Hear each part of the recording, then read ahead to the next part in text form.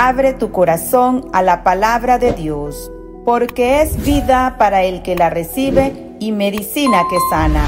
Sean bienvenidos a este espacio de meditación con el Padre Francisco Perdomo.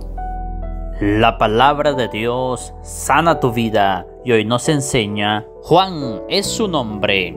Amados hermanos, sean todos bienvenidos a este encuentro con la palabra de Dios que sana nuestras vidas. Les saluda este su servidor, el Padre Francisco Perdomo. Un abrazo desde la distancia. Que Dios te bendiga, te acompañe, te guíe. Pedimos por intercesión de San Juan Bautista, hoy que celebramos esta solemnidad, la Natividad de San Juan Bautista, que Él te bendiga, te proteja, que ese Dios bueno te socorra, que siempre te guíe. Oramos por los hijos y por la salud del esposo de Evelyn Alvarado. Dios te bendiga, Evelyn, Dios te cuide.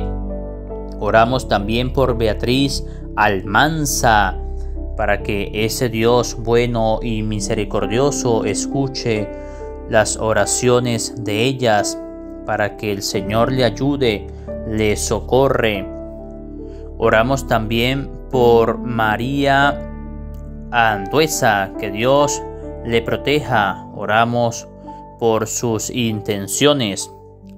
Oramos también en este día por Epifania García. Oramos por Epifania, Dios te bendiga, Epifania, que pide oración por su hija Marianela Mejías García que le vaya bien a Marianela, que cuente siempre con la bendición del Señor. Y oramos también por sus dos nietas, para que nunca estén desamparadas y Dios sea su socorro y su auxilio. Por todos ustedes, por sus oraciones, si quieres que ore por ti, colócalo allí en los comentarios y pronto estaré haciendo esos momentos de oración por ti para presentarte al Señor encomendándote en la Santa Misa en mis oraciones personales, pero también que oremos juntos por medio de este canal, que nos conectemos en espíritu y en verdad en oración como el Señor nos lo pide. Recuerda que donde dos o tres se reúnen para orar en el nombre del Señor, allí está Él presente y escuchará esas súplicas.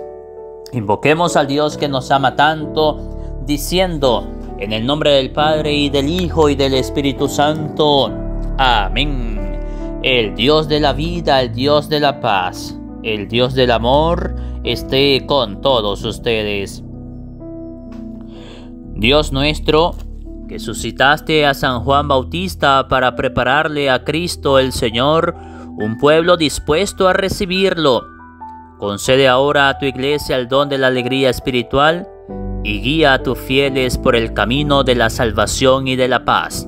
Por Jesucristo nuestro Señor. Amén. Lectura del libro del profeta Isaías. Escúchenme islas, pueblos lejanos, atiéndanme. El Señor me llamó desde el vientre de mi madre, cuando aún estaba yo en el seno materno. Él pronunció mi nombre. Hizo de mi boca una espada filosa, me escondió en la sombra de su mano, me hizo flecha puntiaguda, me guardó en su aljaba y me dijo, Tú eres mi siervo Israel, en ti manifestaré mi gloria. Entonces yo pensé, en vano me he cansado, inútilmente he gastado mis fuerzas en realidad mi causa estaba en manos del Señor, mi recompensa la tenía mi Dios. Ahora habla el Señor, el que me formó desde el seno materno, para que fuera su servidor, para hacer que Jacob volviera a él y congregara a Israel en torno suyo. Tanto así me honró el Señor y mi Dios fue mi fuerza.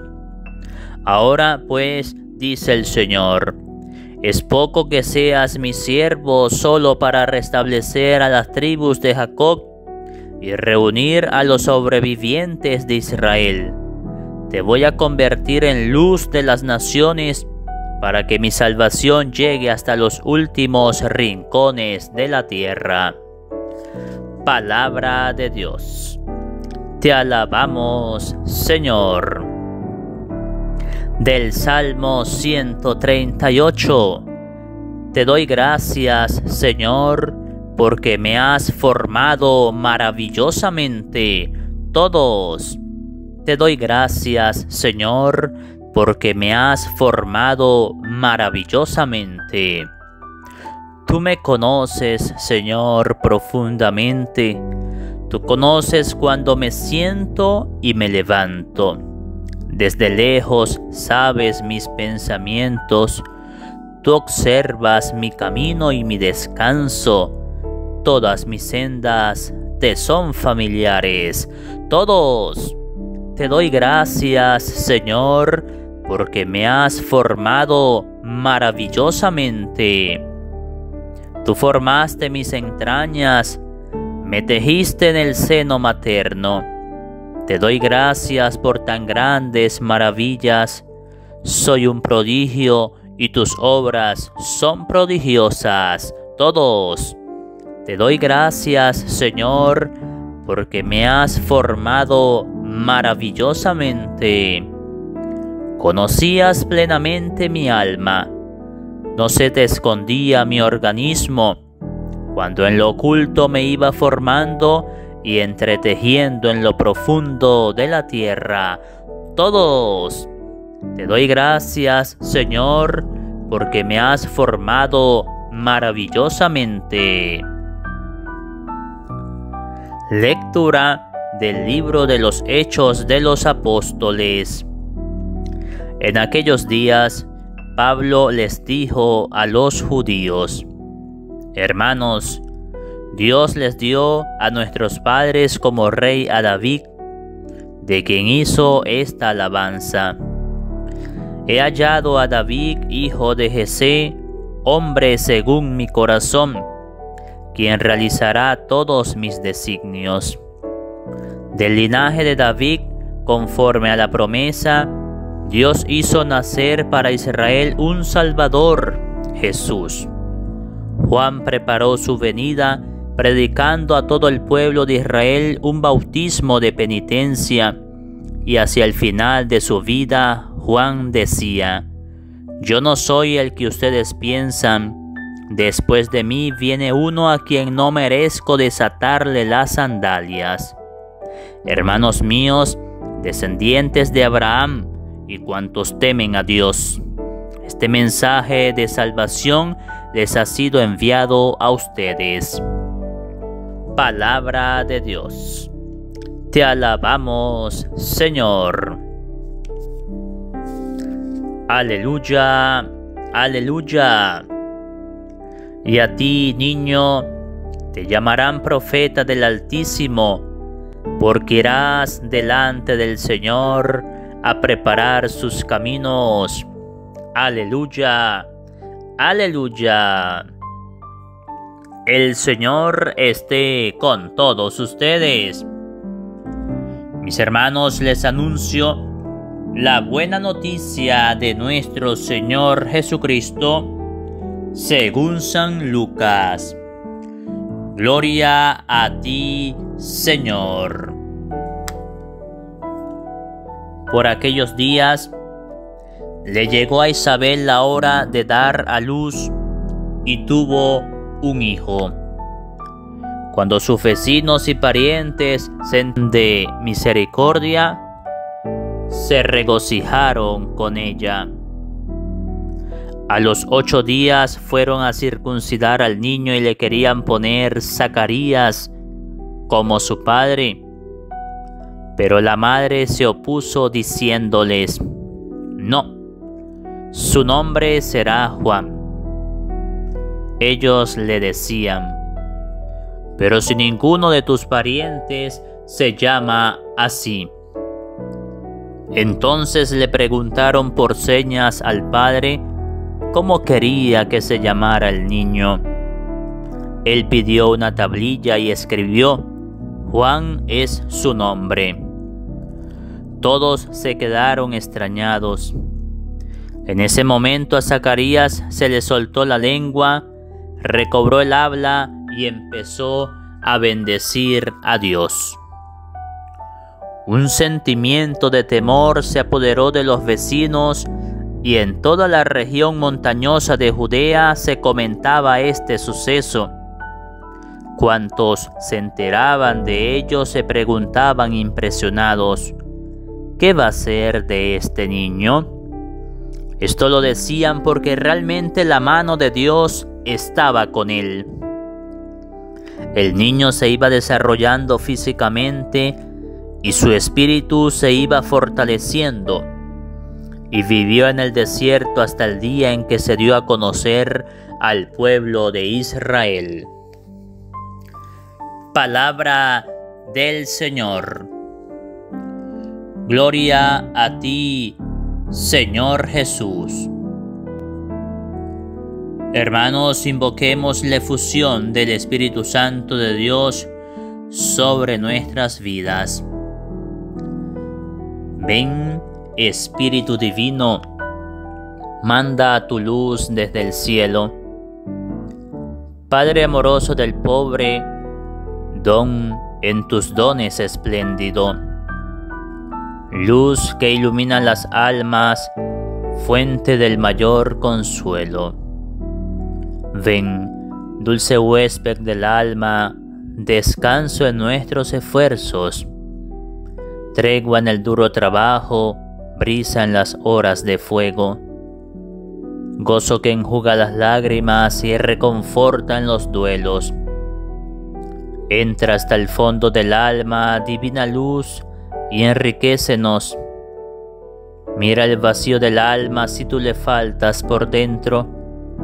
Mira el poder del pecado cuando no envías tu aliento. Rega la tierra en sequía, sana el corazón enfermo, lava las manchas, infunde calor de vida en mi hielo. Toma el espíritu indómito y guía al que tuerce el sendero.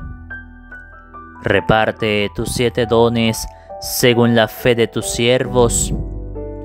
Por tu bondad y tu gracia, dale al esfuerzo su mérito. Salva al que gusta salvarse y danos tu gozo eterno. Por Jesucristo nuestro Señor. Amén. Amados hermanos, sean todos bienvenidos a este encuentro con la palabra de Dios que sana nuestras vidas. Celebramos la solemnidad de San Juan Bautista, el precursor del Señor. Juan el Bautista ante todo va a preparar el camino para que ese hombre maravilloso que es el amor de nuestras vidas, Cristo el Señor, nuestro Redentor, llegase a cumplir con su misión. Juan Bautista va a anunciar el Evangelio al pueblo de Israel, va a anunciar la palabra de Dios, va a anunciar un bautismo de arrepentimiento, como nos dice Pablo acá en la segunda lectura de Hechos de los Apóstoles 13, 22 y siguiente. Juan el Bautista predicaba en el desierto un bautismo de penitencia, de arrepentimiento. Juan Bautista va a enseñar al pueblo de Israel que debemos agradar al Señor con nuestro corazón, pero que cuando agradamos al Señor con nuestro corazón, eso se manifiesta en obras. No podemos decir que somos de Cristo si nuestras obras son oscuras, como ayer decía la palabra de Dios. Si nosotros vivimos en la oscuridad, si nosotros no tenemos luz, si en nosotros lo que debería ser luz no es más que oscuridad, que negra no será tu propia oscuridad. Juan el Bautista nos enseña que no, nos enseña que debemos ser luz, no ser hipócritas, no aparentar que somos luz cuando somos tinieblas. Por eso invita a la conversión, pero al mismo tiempo muestra la misericordia del Señor. Por eso su nombre significa Dios es misericordioso. Juan significa eso. Dios es misericordioso. Y Juan, aunque va a ser duro porque tiene un discurso duro, una predicación dura, terrible, llamando a la conciencia, sin embargo, no va a ocultar la misericordia del Señor. Y luego va a anunciar a Jesús. Viene uno a quien yo no merezco desatarle siquiera sus sandalias. Ese es el Mesías. Él va a mostrar al Señor. Ese es el Cordero de Dios que quita el pecado del mundo. Y corren sus primeros discípulos detrás de él. Juan el Bautista va a anunciar al Señor con toda su vida. Juan el Bautista también nos enseña el desprendimiento. Él vivía en el desierto. Para él lo importante era Dios y más nada que Dios. Vivió para el Señor. No le importó más nada. No le importaron los bienes de la tierra y tú y yo perdemos la cabeza muchas veces por los bienes terrenales. Personas padeciendo, ay, ay, lo voy a perder todo. No pierdas la salvación. No pierdas la salvación, ahí sí lo vas a perder todo. Recuerda lo que dice el Señor, de que le sirve al ser humano ganarse este mundo y perder el otro. El otro que es eterno, este que es finito, este que es limitado. Juan el Bautista predicaba desde el desierto. Y allá en el desierto acudía la gente, porque era un testimonio de vida predicaba según el Señor. El Espíritu del Señor estaba con él. Y él va a ser ese que cierra el Antiguo Testamento y es el ápice que abre el Nuevo Testamento. Ese es Juan el Bautista. Su vida y su ministerio nos enseñan la importancia entonces de ese arrepentimiento sincero para recibir preparados espiritualmente al Señor en medio de nuestras vidas. Juan el Bautista nos va a comunicar la importancia de ser honestos con nuestros pecados, el pecado que hay que sacarlo, hay que arrepentirnos y al mismo tiempo nos invita a buscar una transformación personal a través del perdón que nos renueva, con el que nos renueva el Señor. Que esta solemnidad de San Juan Bautista nos renueve, nos invite a la reflexión personal y saquemos todo pecado de en medio de nosotros. Que así sea. Amén. Oración a San Juan Bautista. Bendito San Juan Bautista que fuiste elegido para anunciar a los hombres la venida del reino de Cristo.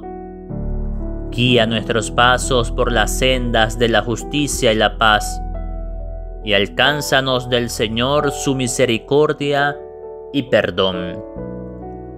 Gloriosísimo San Juan Bautista, precursor de mi Señor Jesucristo, lucero hermoso del mejor sol, trompeta del cielo, voz del Verbo eterno, consígueme del Señor su benevolencia y bendición. Tú que eres el mayor de los santos y alférez del Rey de la Gloria, que eres más hijos de la gracia que de la naturaleza, y por todas las razones príncipe poderosísimo en el cielo, consígueme del Señor su clemencia y bendición. Glorioso San Juan Bautista, hoy en mi desespero te ruego que me ayudes en estos duros momentos. Necesito tu valioso auxilio para solucionar mis penas y miserias, mediante el Señor, para que me conceda la gracia de apacentar a este pueblo, de hacer que aquellos rebeldes, ignorantes, extraviados e indiferentes puedan reconocer a Jesús como el buen pastor, como el amor principal de sus vidas, como ese en quien no van a conseguir engaños, sino amor, perdón, dulzura y paz. Ayúdame ser ese sacerdote según el corazón de Jesús y escucha también las súplicas de este pueblo que te presento, que nuestro Señor me ha confiado para guiar, para apacentar a los frescos pastos de la vida eterna. Te pido, mártir invencible, que no desoigas mis penas y por los privilegios con que te enriqueció Dios, consigue que mi pedido sea concedido lo antes posible, si fuera conveniente para mi salvación. Y si no, una perfecta resignación con abundante gracia, que haciéndome amigo de Dios, me asegure las felicidades eternas de la gloria. Amén. Que Dios les bendiga a todos ustedes, amados hermanos, en el nombre del Padre y del Hijo y del Espíritu Santo. Amén. Que Dios les bendiga, Dios les acompañe, que Dios les cuide. Nos vemos mañana.